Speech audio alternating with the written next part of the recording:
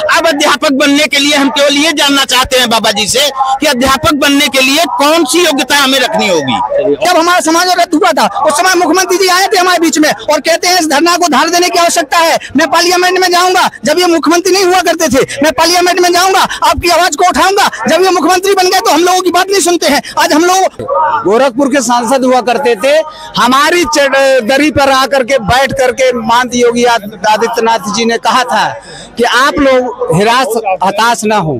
हम आपकी लड़ाई लड़ेंगे। सारे दस साल हो रहे वो कह रहे हैं कि पीड़ा समझ रहे। तो फिर पीड़ा पे एक्शन क्यों नहीं? एक्शन आज तक पता नहीं क्या उनके मन में पीड़ा क्या है क्या हम लोग सुन की जो है कि जाति दुश्मनी है क्या है? केवल बाबा जी की मनसा सही नहीं है बाबा जी मनसा साफ़ कर लें और शिक्षा मित्रों में कोई भी योग्यता की कमी नहीं है महोदय। हम आपको बता किसका चल जाता है, एक मजदूर, एक जो नॉर्मल मजदूर, उससे भी कम में वेतन है हमारी बातें दिलासा तब दिए थे जब आप सरकार में नहीं थे। आप विपक्ष में थे, आप सांसद हुआ करते थे, केंद्र तक आपकी पकड़ थी। उन्होंने सीधे हाथ उठा के कहा था कि आप लोग चिंता ना करें। हम हैं। आपका तीन महीने के अंदर विकल्प निकाल के कोई न कोई रास्ता निकालेंगे।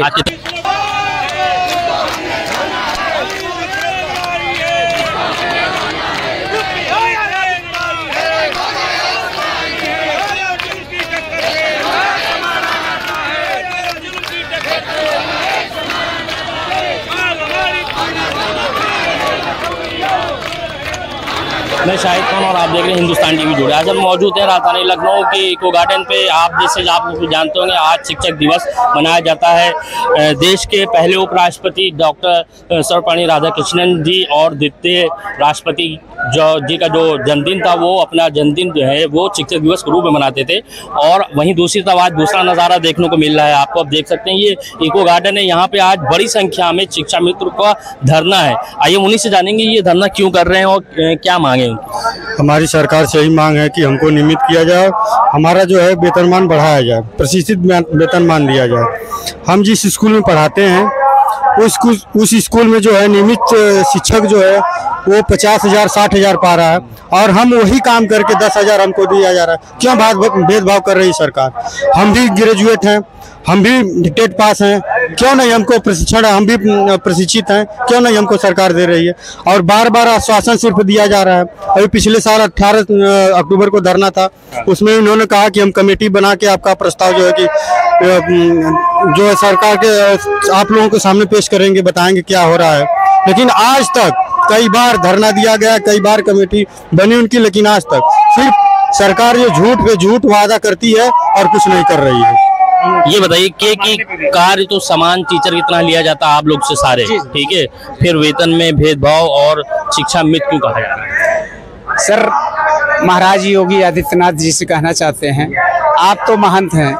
हो सकता है बच्चे कुछ गलती कर दिए हों तो किसी दो चार के गलती के कारण पूरे प्रदेश के उन्हें दो लाख से घटते घटते आ गए हम लोग एक लाख पैंतालीस हज़ार तक और इस स्थिति में पहुँचा दिए हैं। इतनी बड़ी सजा तो महात्मा को शोभा नहीं देती है। हम लोग कितना बर्दाश्त करें? यही यही सांसद थे। गोरखपुर के सांसद हुआ करते थे। हमारी दरी पर आकर के बैठ करके मानद योगी आदित्यनाथ जी ने कहा था कि आप लोग हिरास, हताश न हो। हम आपकी लड़ाई लड़ेंगे। आपकी लड़ाई में पूरा सहयोग करेंगे। हम सरकार से लड़ेंगे। बहुत सारे रास्ते हैं। आप लोग मौत का मौत का रास्ता मत अपनाइए। ये सारी बातें दिलासा तब दिए थे जब आप सरकार में नहीं थे। आप विपक्ष में थे। आप सांसद हुआ करते थे। केंद्र तक आपकी पकड़ थी। उस समय दबाव आप नहीं बना सकते थे। फिर भी आपने इतना अगर कहा था तो माननीय मुख्यमंत्री जी, मैं कह रहा हूँ कि आपने अगर इतना वचन दिया था, आप महात्मा हैं, उस वचन को याद करिए। मोदी जी को याद कराइए। हम बनारस में बनारस में उन्होंने सीधे हाथ उठा के कहा था कि आप लोग चिंता न करें। हम हैं। आपका तीन महीने के अंदर विकल्प निकाल के कोई न कोई रास्ता निकालेंगे। आज कितने वर्ष हो गए? आज हो गया पूरे पूरे सात साल। सात वर्ष हो गया है। आ, हम लोग इंतज़ार करेंगे अंतिम समय तक। कम से कम ये तो बताने लायक रहेंगे कि माननीय योगी आदित्यनाथ इतने बड़े अब कुछ नहीं कहेंगे आगे। सात सात वर्ष हो गए अभी इन्होंने खुद बताया।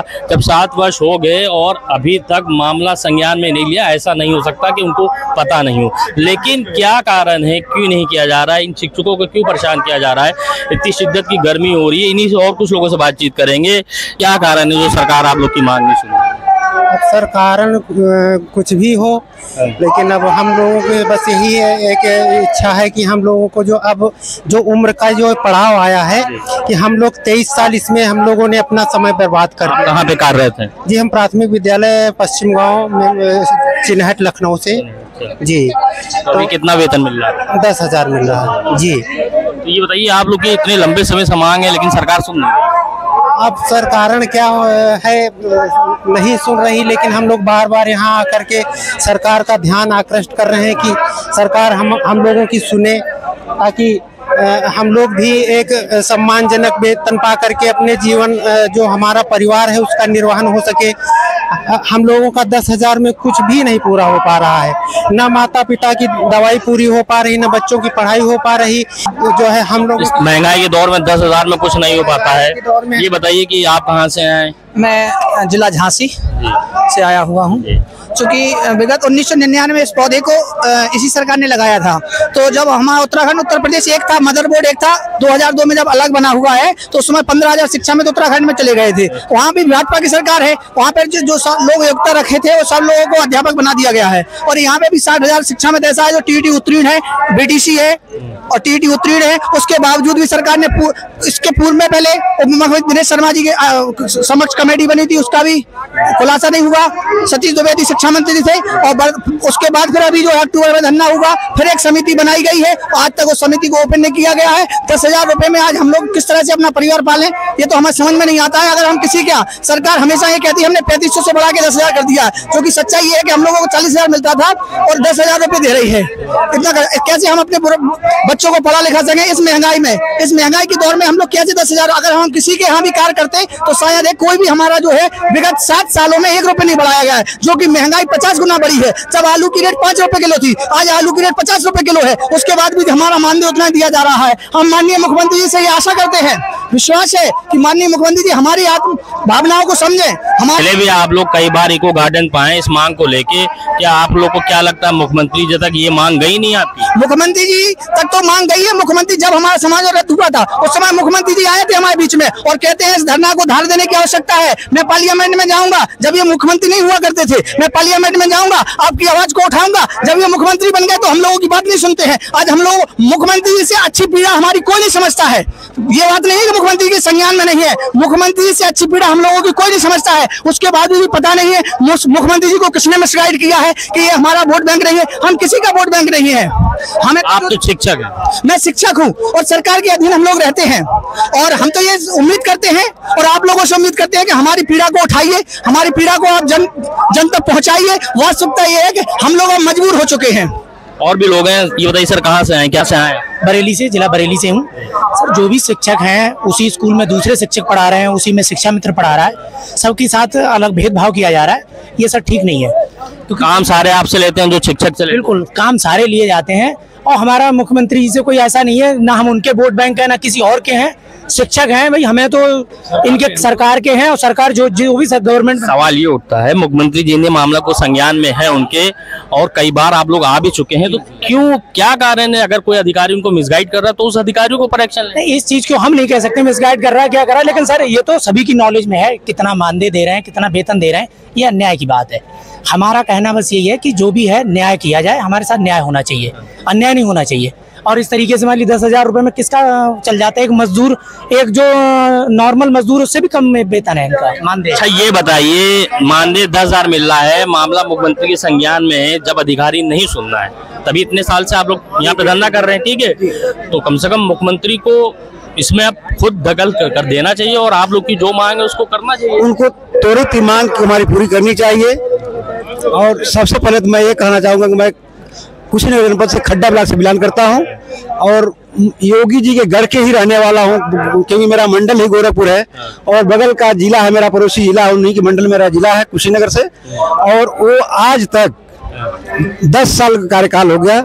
कई बार उन्होंने कहा मैं एक पीड़ा आपकी सब समझ रहा हूँ समझ रहा हूँ आपकी दर्द को मैं समझ रहा हूँ लेकिन तो आज मेरे माँ बाप बूढ़े हो चले। आप खुद ही बता रहे दस साल हो रहे हो वो कह रहे हैं कि पीड़ा समझ रहे तो फिर पीड़ा पे एक्शन क्यों नहीं? एक्शन आज तक पता नहीं क्या उनके मन में पीड़ा क्या है? क्या हम लोग सुन की जो है कि जाति दुश्मनी है, क्या है कि आज तक ना कर किए, कभी आज करके संबोधन तक नहीं किए, हम लोग पीड़ा को समझे नहीं, सुने नहीं, देखे अभी तक नहीं।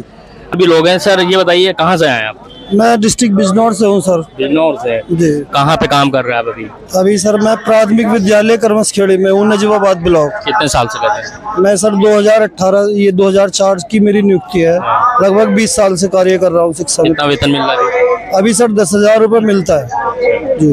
तो ये बताइए दस हज़ार इतनी महँगाई के दौर में तो खर्चा चलता नहीं और आप लोग कई बार आ चुके हैं। सर तो आज भी आप लोग बड़ी संख्या में लोग आए मंच आपका बैठा है पदाधिकारी बैठे हैं। लेकिन क्या कारण है कि इतनी बड़ी संख्या होने के बावजूद भी सुना नहीं जा रहा सर कारण तो मैं नहीं बता सकता कि हम लोगों की सुनवाई क्यों नहीं हो रही है मगर सर एक बात मैं ज़रूर कहना चाहूँगा। हमारा समायोजन 25 जुलाई 2017 को सुप्रीम कोर्ट द्वारा निरस्त हुआ। कोर्ट के चलो कोर्ट का सब सम्मान करते हैं हम भी करते हैं। मगर सर अभी इलाहाबाद हाई कोर्ट ने एक डिसीज़न दिया है। जी। पूरी बात हुई नहीं है। जैसा कि बड़े भाई ने कहा 25 जुलाई 2017 को हमारा समायोजन निरस्त हुआ शिक्षा मित्रों का समायोजन निरस्त हुआ। लेकिन 25 जुलाई 17 को जो समायोजन निरस्त हुआ माननीय कोर्ट ने ये नहीं कहा था कि आप इनको ले जाकर के डिमोशन इनका कर दीजिए। कोर्ट ने ये भी कहा था कि इनको पद पे रहते हुए। पद नहीं नहीं पद पे रहने की बात नहीं है। इनको इनको समायोजन से पूर्व की स्थिति में सुनिए एक मिनट। समायोजन की पूर्व की स्थिति में इनको रखा जाए। मैं आपसे पूछना चाहता हूँ आपके माध्यम से सरकार से पूछना चाहता हूँ मैं महाराज योगी आदित्यनाथ से पूछना चाहता हूँ तमाम उनके बड़े अधिकारियों से पूछना चाहता हूँ क्या समायोजन की पूर्व की स्थिति पुनः शिक्षा मित्र ही है? शिक्षा मित्र का पद ही है। कोर्ट ने ये कहा कि आप इनको चाहें तो समायोजन से पूर्व की स्थिति में रख सकते हैं। समायोजन की पूर्व की स्थिति हमारा वही समान काय का समान वेतन प्रशिक्षण हो सकता है। समान टीचर। हाँ। लेकिन हमको कहाँ ले जाके खड़ा कर दिया? हम आज तक ये नहीं समझ पा रहे हैं। ये बताइए कि कार्य तो समान टीचर कितना लिया जाता है। ये बताइए कहाँ से क्या नाम है मेरा नाम होशराम सिंह है। से? मैं जिला बिनौर से बिलोंग करता हूँ। और हमारा दुख दर्द यही है कि हमने 2001 से अपना शिक्षा मित्र पद संभाल कर अपने स्कूल में एक नियमित पूर्वक कार्य किया है और बच्चों को पढ़ाने का कार्य किया है। उस समय संख्या जो है बहुत कम थी और हम लोगों ने शिक्षा मित्र जितने भी थे, अपनी मेहनत और लगन से कार्य किया है। पर हम यही चाहते हैं ये बताइए सर क्या नाम है कहाँ से? मैं सर राकापति भट्ट जनपद प्रयागराज से उरुआ ब्लॉक से हूँ। और अ, अ, समस्या ये है सर कि यूपी टेट के लिए वहाँ से केवल रिजेक्ट हुआ था कोर्ट से हमारा समायोजन। आज हम छह छह बार यूपी टेट और सी टेट का एग्ज़ाम क्वालिफाई हैं सर। तीन तीन ठो बच्चियाँ हैं पैंतालीस पचास साल के हम लोग हो गए हैं। अब बताइए बाबा जी से क्या कहें हम? कई बार कम से कम दस बार आ चुके लखनऊ की धरती पे अब बराबर निवेदन कर रहे हैं। आप ही के कुछ साथी कहते हैं कि नहीं, वो उनको संज्ञान नहीं है, कुछ कह रहे हैं संज्ञान है, कुछ कह रहे हैं कि गुमराह कर रहे हैं अधिकारी तो क्या लगता है कुछ नहीं। केवल बाबा जी की मनसा सही नहीं है बाबा जी मनसा साफ़ कर लें और शिक्षा मित्रों में कोई भी योग्यता की कमी नहीं है महोदय। हम आपको बता रहे हैं शिक्षा मित्रों में कोई योग्यता आज हमारे पचास हज़ार साथी टेट सी टेट क्वालिफाइड हैं। पचास हज़ार मित्र हमारे सारी एनसीटी की गाइडलाइन फॉलो कर रहे हैं सर अब बाईस पच्चीस साल लगभग ढाई दशक हम लोगों की सेवा हो गई। अब आप बताइए की क्या कौन सी योग्यता लाए अध्यापक बनने? आप मानते हैं ना की योगी जी अगर चाहे तो हो सकता है बिल्कुल। एक मिनट हो जाए। सारे समस्या का ऐसा- एक लाइन में कर सकते हो। हैं ऐसा क्यों क्यों नहीं सुनना चाह रहे? हमको पच्चीस साल से लगभग ढाई दशक से सर हम लोग सेवा दे रहे हैं। और आप लोग मीडिया वाले हैं सर। और मीडिया वाले तो वैसे भी हम लोगों का कोई मुद्दा नहीं उठा रहे हैं देख ही रहे आपकी आवाज़ बराबर उठा रहे हैं? नहीं सर। आप गिने चुने चैनल वाले उठा रहे हैं सर। और सुनिए अब आप समझिए कि यूपी टेट सी टेट सब कुछ क्वालिफाई करने के बाद हम लोगों को ऐसे छोड़ दिया गया दस हज़ार मित्र हमारे बीच के साथी आज तक खत्म हो गए। तो हम बाबा जी से एक चीज़ कहना चाह रहे हैं अब केवल कि मेरे पूजन और अर्चन को सर मेरे संपूर्ण समर्पण को। जब मेरी कमज़ोरी कहकर मेरा पूजित पाषाण हंसा तो रोक न पाया मैं आँसू। उनसे मैं बार बार निवेदन कर रहा हूँ महोदय कि हमारा समायोजन हमारे लिए जीविका का एक बेहतरीन व्यवस्था बनाइए जो आपने पूर्व में गोरखपुर में कहा है।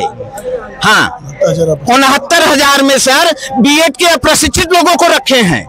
हाँ और हमारी सीट पे कब्जा कराए हैं हमको कटाप का जो है वो दे करके हमारे ऊपर कटाप का एक झूठा तोमक लगा करके पासिंग मार्क लगा करके जो है परिचय बाहर कर दिए। आप बताइए sir UP TET qualify C TET qualify करने के बाद सुपर टेट में 91 नंबर है हमारा मार्कशीट ले लीजिए आप देख लीजिए। अब अध्यापक बनने के लिए हम केवल ये जानना चाहते हैं बाबा जी से कि अध्यापक बनने के लिए कौन सी योग्यता हमें रखनी होगी? और भी कुछ मैं पवन कुमार मिश्रा जनपद श्रावस्ती से हूँ। जी क्या कहना चाहेंगे सर? आज आप लोग इतनी बड़ी संख्या में आए हैं। इतनी बड़ी संख्या में हम आए हैं तो हम सरकार से ये कहना चाहते हैं कि आप अपना जो पटल सजामे उस पर कम से कम हमसे बात तो करें। हमारी जो समस्याएँ हैं उसे आप सुनिए।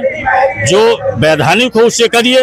और जो अवैधानिक हो उसे मुझे पूरा करने मौका आपके डेलीगेशन में तो बहुत संगठन के लोग हैं। देखिए हम आपको ये जितने भी संगठन हैं आज दुर्भाग्य इस बात की रही ये जितने भी संगठन है, जब हमसे सहयोग लेना होता है तो हमें तो हम सहयोग में ले लेते हैं। लेकिन 25 जुलाई 2017 से किसी भी संगठन ने किसी भी मीडिया के माध्यम से कभी यह सरकार से नहीं कहा कि सन 2017 से 2024 तक एक रुपए की महँगाई बढ़ी हो तो इनके मानदेय में भी वृद्धि करें। फिर मैं इन्हें कैसे मानूं कि हमारा सहयोग कर रहे हैं?